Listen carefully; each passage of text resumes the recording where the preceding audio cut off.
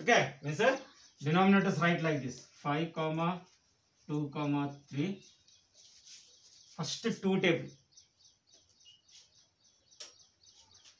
In two table 5 have a not have. Is the right 5 as it is. 2 1 ja 2. In two table there is no 3. So write 3 as it is. Next 3 table. In 3 table 5 not there.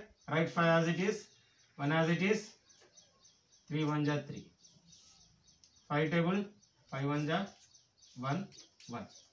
Now 2 into 3 into 5 means uh, 2 3 are 6 6 5 are 30 30 is the LCM. So what is the LCM? LCM is a 30. LCM is what? A 30.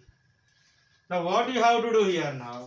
This step is very important. Now what the step I am going to write is very important. Draw one big line. What is the LCM? What is the LCM? 30.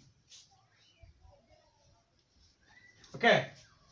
Now write this fraction into 30. Now what symbol is here? Plus. Write this fraction into 30. What symbol is there? Plus. Write this fraction into 30. This step is very important. Okay. What I did? I drew a big line by 30. In numerator, I wrote the same fraction and I multiplied with 30. Plus as it is, I wrote 9 by 2 into 30. 7 by 3 into 30. Clear? This portion is clear. Now next word, you have to cancel here. 5 1s are 5, 5 6 are 30. 2 1s are 2, 2 15s are 30. 3 1s are 3, 3 10s are 30. Now what is left over here?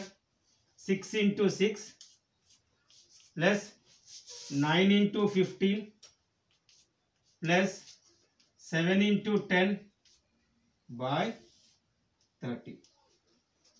6 6 is 36 plus 59 is 135 plus 7 10 is 70 by 30.